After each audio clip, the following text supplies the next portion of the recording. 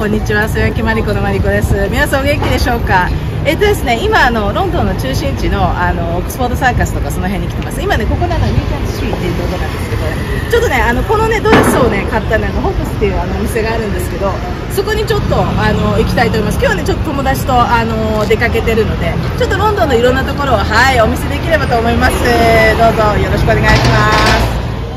あどうもです。今ねちょっとあの近くのあのスターバックスさっきいた道のところからちょっと入ったね小道に入ったところのスターバックスに来てます。結構なんか広々とねしたあのスターバックスで。になってます。そうあのあのカメラさんうちの友達です。はい。でちょっとコールドブルー飲んでます。あのはい。どうもですはいどうもですこれねステーキフィットねあの今ねあのフランス料理屋に来てますブラスリーに来ててあのちょっと大好物ステーキフィットあとあのこれパンが超美味しかったですちょっと食べたいと思いますはいどうもです今ねちょっと中心地にはい来てます盛り上がってるところですかねはいじゃあまたお会いしましょうロンドンからこんにちは。どうもです。マリコです。今日もよろしくお願いいたします。ちょっとね、午前中もちょっと、えー、午後に近くなった時間になってきて、あの、日もね、だんだん上がってきました。もうね、さっきまですごい寒くて、まあ今もちょっとやっぱ寒いのでね、こういう感じで着てて、まあみんなほとんど他の人はコートとか着てたり、まあコート着てない人もいるんですけど、結構みんな、まだ寒いんですよ、ロンドンはね。あの、まあ5月の中頃、まあちょっと中頃、あの、終わったと言っても。はい。えっ、ー、と、ちょっと久しぶりなんですけれども、ちょっといろいろ忙しくて、そう、あの、なんかね、あと、それだけじゃなくて、忙しかっただけじゃなくて、やっぱり今、まだね、コロナの後遺症がすごくあって、まあ、いわゆるロロングコビットって言うんだけど、あの、要はコロナになっちゃった場合だと結構2、3ヶ月とか続くのね、その怠惰感とか、怠惰感、あの、疲労感とか、そう、あの、何もしないのにすごい疲れやすいとか、そう。で、まあ、例えばなんか仕事してもその後すごい疲れちゃうとか、そう。それなかなかちょっとね、タイミングが、あの、あれ見えなくて、ちょっと撮れなかったもんですから、はい。まあでもちょっとね、今日はちょっと撮っていきたいと思います。よろしくお願いします。で、あのね、この前の、えっと、動画でちょっと撮り、えっと、ロンドンのね、最近っていうので、あの、ちょっとこの前、先週友達とちょっと出かけたところがあって、で、それでちょっとちらっとお見せしてますけど、ロンドンの状況をね、どんな感じかっていうので、はい。で、えっと、まあ、別に今日もね、まあ、いわゆる世間話みたいな感じになると思うんですけれども、はい、一応ね、ちょっとね、カードを、あの、3、3個くらいあの持ってきましたんで、そう。でね、ちなみにあの、私、違うの、今日ね、本当はね、なんでね、ここでね、撮ることにしたかっていうと、ほま、今ちょっと猫の家にちょっといて、で、それで、猫の家で撮ろうと思ったんだけど、あそこ結構あのー、工事がね、結構その辺してるから、そう、それで結構音がね、入っちゃうなと思って、それでどっか他のとこと思って、で、この公園はね、あの、すごくね、あの、このテーブルもあるし、うん。ちょっと今、あの、この辺の私立の学校の子たちが あのお散歩してますので はい。えっと、ちょっとあれですが、まあ、音ししてあるんで、まあ、元気のね、あの、皆さん 子供の声がって感じなんですけど、そう。この辺ね、すごい、まあ、いわゆるその高級住宅地の中にある、まあ、あの、行きやすい公園。まあ、そんなね、ここの公園すごい広いわけじゃないんだけど、そんなにね。そう、あの、後でちょっとちらっとお見せしますが、そう、でもね、あの、やっぱり近くて、い、あの、行きやすいっていうか、うん、そうそう。まあ他にもいろいろ、まあロンドンはね、やっぱ公園はすごいね、充実してるからね。まあ日本も公園あるって言えばあるんだけどね。まあでも、やっぱロンドンってやっぱり公園のね、やっぱりその、ちゃんとされてるのよ。植木とかそういうのとか。やっぱ確かにそのガーデニング的なそのなんか要素。は強い、あの、強いっていうかなんだろう、得意だと思うんでね、この人たち。草をなんかこう やる、やったり、花とか。で、結構ね、こっちの方もね、あの、ちょっと前まで、2、3週間前までは結構ほんとチューリップがあそこすごいいっぱい咲いてたりとか、うん、今も一応ね、お花が咲くシーズンではあるんですよ。ロンドンではね。うん。じゃ、ちょっとね、あの、早速ですが、えー、3個くらいのね、カードたちを使って、カードの種類を使って、ちょっとリーディング、あまあ、リーディングっていうか、まあ、まあ、その、カードは私の場合ほら切り口として使ってるから、そうあの話の切り口として。はい。まずこれで、はい。ムノロジーでね、はい。1枚ちょっと取ってみて、で、それで次にね、次にというかまあ、全部一気にちょっと取って、で、それでまあなんかあの直感で来ることをね、話したいと思います。で、これね、この Angels and Ancestors でね、はい。1枚拾って、拾って取って、はい。次、次、次だって、次ね。Messages from your angels。Messages from your angels からね、はい。1枚取っていきたいと思います。よろしくお願いいたします。みんな元気ですか？じゃあちょっともうね、シャッフルしてね、ちょっともう順番に1枚ずつ取ってきますね。はい、じゃあこれにしますよ、これ。はい、じゃあここに置いときますね。はい、ここに。で、次。えー、っとね、ちょっと見えるかな？これちょっと一瞬ずらします。はい、えー、まあずらしてもそんな、まあ一応そこにあるということで、彼が あ、ああ、ちょっと待ってね。ごめん、すいません。驚、驚かせちゃって。はい。いやーなんか本当にね、今日撮影できてよかったです。やっぱりさ、当たり前だけど、ほら、スケジュールとかさ、あの、タイミングとかさ、私の体調とかさ、まあ、スケジュールが多いっていうのもあるけどさ、なんせほら、仕事してこれ、これをほら、趣味でやってるから、そうそうそう。なんでね、うん。はい。はい、じゃあちょっと、行きますね。はい、ちょっと見ていますね。はいはいはい。えー、ちょっと待って。ちょっとあの、ちょっと今これカードにね、繋がってんのね。うんうんうんうんうん。ちょっと一個一個見ていった方が私ちょっと読みやすいかな。これね、アカシャっていうのが出てるの。アカシャ。これエンジェルね。はい。これなんて書いてある ?You are a spiritual, you are a spiritual teacher. You have the ability to counsel others and help them awaken their spiritual gifts and a divine life mission. うん、はいはい。で、your hard work is paying off. Your hard work is paying off. で、これは medicine mother. Honor your inner knowledge. これね、あのね、全体で来るのはね、これまあ一つ一つは、まあ英語の説明してもいいんだけど、あの、メディシンマダー。まあ、そのメディカル系の感じのマダーになってますけど、お母さん。はい。えー、母。はい。honor your inner knowing. そう、自分の、その内なる、内、内に知ってること。そういうことを本当に、こう祝福するっていうか、あの、もう本当にね、honor。そう、ちょっと日本語も思い浮かばないんだけど、そう、honor your inner knowing。そう、本当にもうそれをすごい、素晴らしいっていうことなんだよってことなのね。そう。でね、your hard work is paying off. Your hard work is paying off. そう。だから自分の今までやってきたすごい頑張ってきたことっていうのがついに実を結びますよってことを言ってるのね。で、それでね、このアカーシャっていうこのエンジェルが何を言ってるっていうと、You're a spiritual teacher. そう、あなたっていうのは、あなた様はスピリチュアルなあの先生なので、もうすごいいろんなスピリチュアル関係の先生ですよってこと言ってて、で、You have the ability to counsel others and help them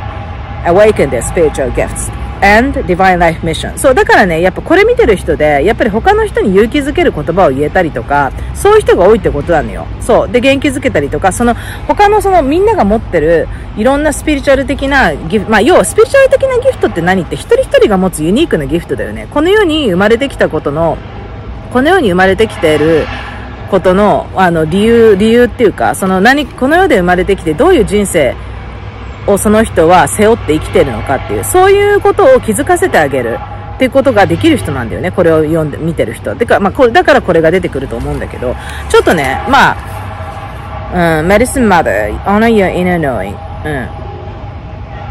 うんうんうん。your hard work is paying off. だから、あの、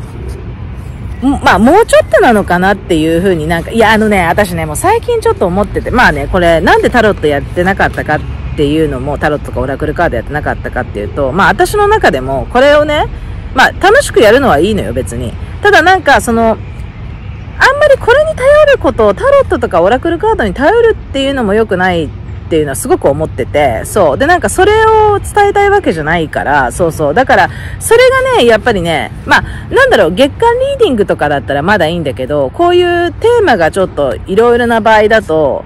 あのー、なんていうのかな、こうだか、なんかさ、その、内側を本当は見てほしいわけよ。当たり前の話なんだけど。で、多分悩んでる人たちとか、例えば、悩んでる人たちがいるとしたら、まあ私も悩んだりするんだけど、まあいろいろ、うん、まあ悩んでたら、やっぱり内側を見ることが重要なんだよね。ちょっとこれまずここ置いとくねっていうのも、この、まあタロットというかオラクルカードというより、まあこれはまあ一つの、まあこういうのが今回今このね、公演であの、引いたらこれが出ましたっていうことで、で、これ何らかのね、メッセージがある人もいるかもしれないし、これがね、そう。あのー、そうなんだけど、いや、あのね、内側を見るっていうことが、本当に重要で、何かしらの、あの、例えば特にそれが、そうなんだよね。例えばこのタロットとかオラクルカードに依存してるとか、まあその YouTube に依存してるとか、まあそもそも私あんま YouTube 見ないから、あのー、なんだろう、もう見てない時はほんと10日くらい見てないのにやっぱ忙しくて。そう。で、あの、別に暇な人が見るってわけじゃないんだけど、まあ私も暇だったりするときは見るんだけど、暇っていうか、で、私は基本的に もう2倍速とかで見てるから、そう。あのー、じゃないと、ちょっと、そうそう、そんな長いの見れ、見られないか。だから私のこれも全然2倍速とかで見てほしいわ、今日。まあ2倍速だと私はすごい本当早口になっちゃうかもしれないけど、それ うん。なんかね、もっと自分に時間使ってほしいのよ。なんかその自分でその、例えばこういう公園でさ、まあ日本にもいっぱいあるからさ、公園とか。まあ公園じゃなくても森とかでもいいし、そこでなんかゴロンとすることとか、うん、あの、あとね、すごい最近来てるのがね、やっぱりね、何か依存とかしてる人、例えばそれがギャンブル依存とか、アルコール依存とか、薬物依存とか、まああと、依存だけじゃなくても、何かしらの問題ね、例えばそれが、その、引きこもりの問題だったりとか、あと、あの、まあ、8050問題だっけ？まあ、ニュースで見たりするけど、私も。とか、何かその問題があって、その、なかなか他の他人には言えないっていうことを抱えてる人たち。で、そういう人たちって、やっぱりね、あの、自助グループだっけ？その、あの、同じようなことを抱えてる人たちのグループ。そういうのにね、やっぱ行くのが一番私ね、解決策なんじゃないかなって思ってるの。で、その、あとね、なんだろう、もちろん私は医者じゃないから何も言えないんだけど、なんかいろんな、その、ちらっとそういう関係の YouTube とか見てても、なんかその、あと悩んでる人たちとかのその、ちらっと見てても、なんかちらっとコメントを見てても、なんかその、私別にコメントを見たくて、その人、その他の YouTube、例えば、ももえスピリチュアルさんの最近ね、ちらっと見てて、で、あの、すごくいいこと言ってたんだよね、ももえスピリチュアルさんの。あの、まあ、リンク送っときます、あの、下に送っときます、あの、書いてきますけど、で、それで、あの、なんか、ちらっとコメントいろんな人の見てたら、なんか、あの、やっぱりね、だから薬で頼ろうとしてる人とかが多いなっていう印象だったのね。で、わかんない。それ日本だったらそうなのか。まあ、ここでも薬やってる人もいる。薬のそういう何そういう精神科とか心療内科とか言って薬出してもらって人もいるだろうけど、なんかもっとさ、多分、それで治、そこじゃないんだよね。やっぱり。薬じゃないんだよね。薬を取れば治るっていうのじゃないんだよね。まあ、だとしたら、うつの人はどうするんですかって話かもしれないけど、やっぱり、うつになってるのは理由があって、で、どっちかというと、幼少期のこととか、そういうことについて、話したりとか、そういうカウンセリング的なね、まあ、サイコセラピーね、あの、まあ、心理療法士と喋ってみるとか、そういうことで自分を見てみたりとか、その自分、まあ、インナーチャイルドを癒すとかね、そこの方に、そこを見てった方が、解決の方が早いと思うの。それであと自助グループみたいなところに、まあそのさ、同じような問題を抱え、要はさ、お医者さんはさ、そのあなた様とさ、同じような問題を抱えてるわけじゃないって人もいるわけじゃない。てか、それとかほとんどかもしれない。そうどんだと思うのよ。あの、まあ、そうじゃない人もいると思うけど、お医者さんでもいろいろね、まあ、アルコール依存を抱えてる人もいるだろうし、薬物依存を抱えてる人もいるだろうし、そう、まあ、いろんな人がいるからさ。なんだけど、やっぱりね、その、自分のその苦しみ、例えばそれが摂食障害ですっていう苦しみだとしたら、その、他の摂食障害の人で、それを克服した人、まあ、克服って言い方もおかしいんだけどさ、あたかも摂食障害が悪いかのように言うからさ、別に、それはそれ、だから障害っていうことでもないのよ。だから今は、例えば摂食にあの、今はあんまりご飯食べたくないとか、食べても吐いちゃうとか、そういう状況になってるだけで、障害じゃないのよ。だから、何が言いたいかっていうと、もうその場の、その、自分を認め、その、その自分を、ありのままの自分を認めてほしいわけ。そう。でね、今やっぱり最近そのいろんなのの、あの、まあ、日本はどうか知んないけど、結構、まあイギリスとかも結構いろいろ、ほら、オンラインでさ、いろいろなミーティング、その自助グループみたいなミーティングも行けるしさ、そのオンラインもみんな結構、その、なんだろう、あのー、ゆったりと参加してる感じなのよ。なんかもう、布団でゴロゴロしながら、布団っていうかベッドでゴロゴロしながら参加してるとかさ、あと、まあ、アイスクリーム食べたりしながら参加してるとかね、あの、ズームとかでね。だから、そういう、やっぱり、環境があればいいなと思うけど、まあ、それは日本だからさ、そういう自助グループとかに参加するとか、オンラインで参加するっつってもさ、まあ、みんなこうやって、どっかにちゃんと座ってっていう感じだと思うし、そんな、例えば、こういう何森の中でこう喋ってるとかさ、森じゃ、森、森ではないんだけどね、パッと見森に見えるけどね。そう。あの、そういうので参加するっていう形が、まあだからね、やっぱりね、まあ、やっぱなんでだろう。まあまあまあまあまあまあ、日本はね、やっぱり、あの、いい意味でも悪い意味でも村社会だから、その、それが東京の都会に住んでようが、そう。だから、やっぱりその他人の目っていうのもすごい気にするタイプなのかなと思うからね。その前もなんかの、前、この前の動画でだっけ？言ったっけ？その、言ったかもしれないんだけど、その、個人って個人のはずなんだけど、なんせ日本の場合は個人の延長に誰かがいてとか、誰かの延長に個人がいてみたいな感じで、なんかその、自分と他人は違うっていう、なんかそこがね、切れないんだよね、日本人って結構。そういう人が多い気がする。なんか、まあだから、うん、まあ、とりあえずね、ま、いつも言ってることやけど、もう、日本が嫌だと思ったら海外行けばいいから、あの、で、もちろん簡単なことじゃないって言われるかもしれないんだけど、まあね、うん、でも、そんなに行きにくいところに住む必要もないと思うんだよね。そうそうそうそう、うん。そう、ううん。まあね、そうそう。だからでもね、本当ね、教育っていうのは大事だなっていつも、いつも心から思うけど、で、特にね、日本みたいなところだからこそ、やっぱ他の言葉を学んどくっていうのは、すごくいいと思うんだよね。なんかその、に、逃げ場ができるって言い方は変だけどさ、なんかその、どっかの、じゃあ日本が行きづらいとかさ、なったとして、まあ日本、でもね、なんだろう、その日本で生きづらい人って、あの、別にどこの国に移住しようが生きづらいと思うのよ。うん、はっきり言ってね。なんかやっぱりそこってその、スキル、まあでもそうでもないかな。うーん。まあでも逆に言うと、例えば仕事とかで言うとしたら、日本であんまり仕事がなんかなかなかできないとか、ちょっと入っていけないって人はもしかしたら海外でも難しかったりするのかもしれないし、あのまあ、相性っていうのもあるとは言えるともあるけどね、やっぱりその個人社会でや、成り立ってるような、なんか、いわゆるこういうイギリスみたいな社会とか、そういう、その自分と他人の境界線があるとことそうじゃないところです。そういうね、自分と他人との境界線があるような国とないような国っていうのは、まあ、住み方とか仕事の仕方も違うし、その同僚とのあの距離の取り方とかも違うと思うしなんだけどね。うんうんうんうんうんうん。まあなんでこの話になったのかわからないけど、うん。そう。まあでもね、あの、そう、なんでかっていうと、その言葉ができると、まあそれが英語でも何でもいいんだけど、スペイン語でもさ、何でもいいよ。あの、フランス語でも何でもいいけど、なんとなくやっぱりそこに、あのー、その、まあ日本語だけだとさ、ほとんど日本の社会の世界になっちゃうから、そう。だからやっぱりね、そういう意味で、その、まあだから英語が、英語が手っ取り早いといえば手っ取り早いんですよ。あの、どこの国でも喋られてるからね。そう。だからまあ、それで、そしたらそれで他の国とかに移住しやすくなるっていうのはあるんで、別に移住までも行かなくてもさ、あの、まあ移住は一番簡単、簡単、簡単じゃないんだけど、そのなんだろう、あの、自分のことを環境を変えるっていうのには、いい手段ではあるんだけどね。まあ別にみんなができるわけじゃないっていうのは分かった上で言ってるんだけど、でも、うん、まあ例えばその自分の代じゃなくても自分の子供の代とかね、あの孫の代とかさ、そういう時にっていう話を。そう。だからそれは手段として、やっぱりまあ、その、英語はただの手段だから、英語とかその言葉はね、あの、外国語っていうのはただの手段だから、まあ手段ででもいろいろある方が可能性は広がるよねとは思うんだよね。うんうんうんうんうんうん。まあさ、なんせさ、もう、あのーなんかもう、その、例えばね、そう、さっき言った、その、いろいろ、例えばその、引きこもりの子供を抱えてるとかさ、その8050の問題とかさ、あとアルコール依存症ね、あの、家族の人が抱えてるとか、ギャンブル依存症とかさ、薬物抱えてるって人に言いたいのは、なんかやっぱり突き放すっていうことも重要で、その人たちを。あの、まあもちろん引きこもりで子供だった場合は突き放しにくいんだけどさ、あの子供だからなんせ。でも、なんかもう、あのね、その人の人生じゃないから、そう、そこのところで突き放すっていうのもいいのよ。もう、あの、うん。で、なんか、そう、あの、もう、うん、なんかね、やっぱりね、なんでかっていうと、これいろんな問題を周りの人が抱えてたとしても、それに気を取られてほしくないっていうか、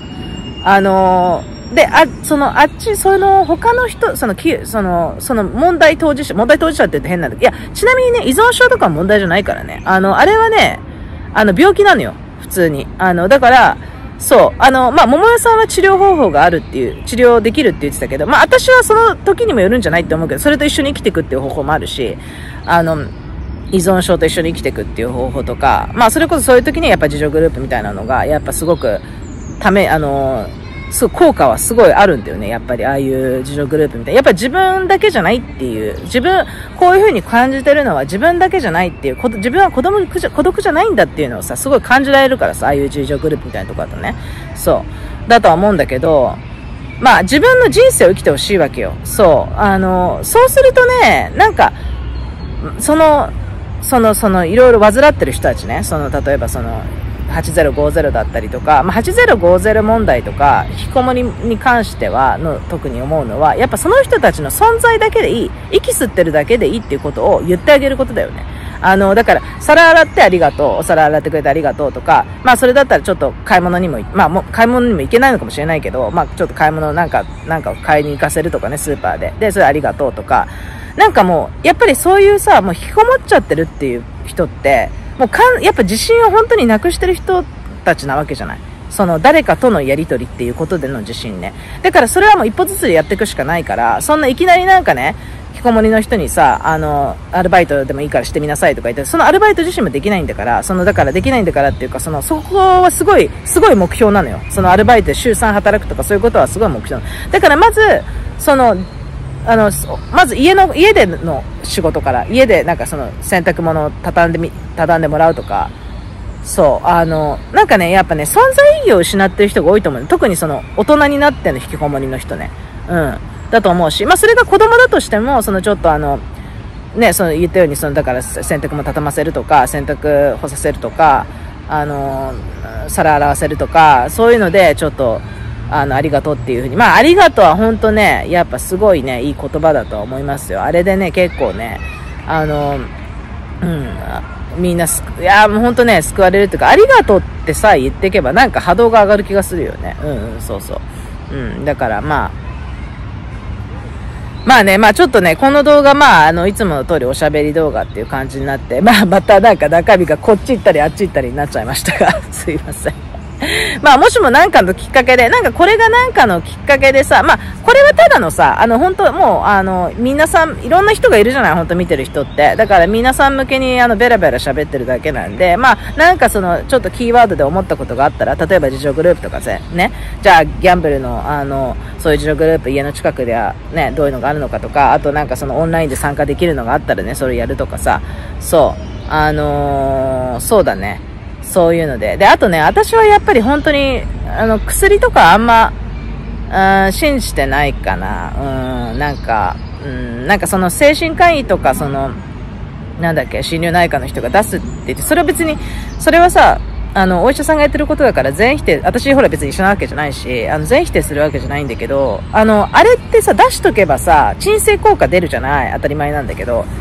抑えつけられるじゃないでもなんかそこじゃないんだよね、問題は。その人が抱えてる問題は。押さえつけられて、それでどんどんさ、それで社会生活ができなくなっちゃうするわけじゃん。多分薬、例えば飲んでたりすると、ちょっと酔ったような感じの喋り方になったりとか、薬飲んでて、その、なんとなくもずっと寝てるとかさ、もしかしたらそうかもしれないしさ、そうなったらそうなったで、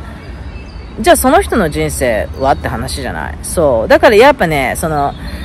うん、やっぱ幼少期のことをね、ちょっと、話せるような環境とか、幼少期のこととか、インナーチャイルド癒すとか、もうそれしか私は方法ないと思うんだよね。で、やっぱりその、